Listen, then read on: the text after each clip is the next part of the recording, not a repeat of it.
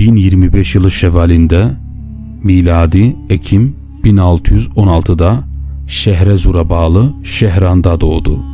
Ancak Kur'an'ın nispesi Isferayi'nin kasabalarından Kur'an'la ilgilidir.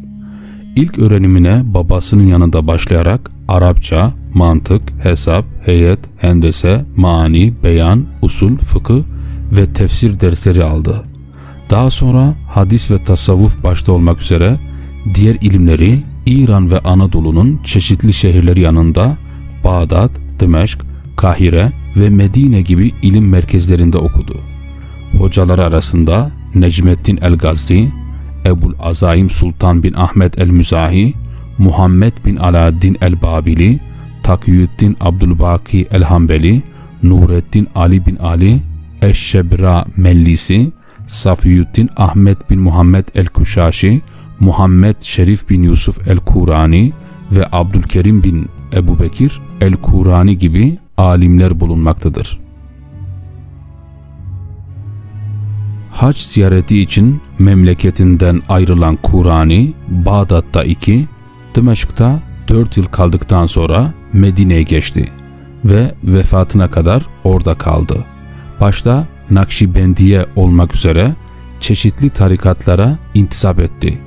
Medine'de anne tarafından dedesi olan Safiyüddin el-Kuşaşi'nin talebesi oldu ve 1071'de miladi 1661'de şeyhinin ölümü üzerine Şettariye tarikatının başına geçti.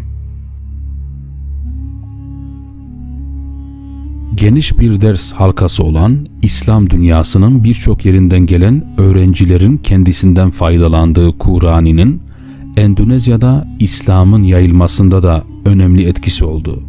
Medine'de tanıştığı Açeli Abdurrauf Esinkili ile Aceh'e döndükten sonra 30 yıl boyunca haberleşmiş, Abdurrauf onun eserlerini Malay diline çevirmiştir. Kur'an'ı Ceberti'nin kaydettiğine göre 28 Cemaziyel evvel 1101 miladi 9 Mart 1690 tarihinde Medine'de vefat etti ve Baki kabristanına defnedildi. Arapçanın yanı sıra Farsça ve Türkçe'de bilen ve güçlü bir hafızaya sahip olan Kur'an'ı çağdaşı birçok alim tarafından 17. yüzyılın müceddidi olarak görülmüştür. Ebu Salim el-Ayyaşi onun Şam, Mısır ve Hicaz gibi bölgelerde ahberena, haddesena hadis rivayet kalıplarını kullanan yegane alim olduğunu belirtir.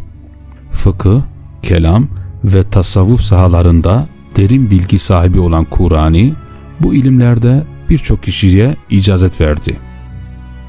Kur'ani seleflerine olan bağlılık ve hayranlığına rağmen sıradan bir taklitçi olmayıp eleştirici bir alim tavrıyla onların görüşlerini inceler ve kanaatlerini açıkça ortaya koyardı. Kur'ani bir taraftan görüşlerini savunduğu İbnül Arabi'nin yanlış anlaşılmış büyük bir veli olduğunu göstermeye çalışırken diğer taraftan İbnül Arabi'nin takipçileri veya onlarla üstadları arasında olması muhtemel görüş ihtilaflarını uzlaştırıp gidermeye çalıştı. İbnül Arabi'ye dair görüşleri konusunda Şeyhi Kuşaşi'den etkilendiği açık olan Kur'ani'den etkilenenler arasında Abdurrauf Esinkili ve Muhammed bin Abdurresul el-Berzenci gibi alimler anılabilir. Muhtemelen babasının bu konudaki fikirlerini paylaşan oğlu Ebu Tahir Muhammed de Şah Veliyullah Eddihlevi'ye hocalık yapmıştır.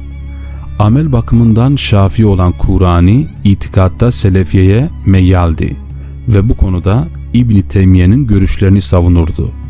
İbnül Arabi geleneği içinde yer almasına rağmen karşıt fikirleri uzlaştırabilen bir kişiliği temsil ettiği bilinen Kur'an'ın İbnül Arabi'nin birçok görüşünü paylaşmayan İbn Teymiye ile temelde hem fikir olmamakla birlikte Garanik hadisesinin doğruluğu hususunda onunla aynı kanaati paylaştı görülür.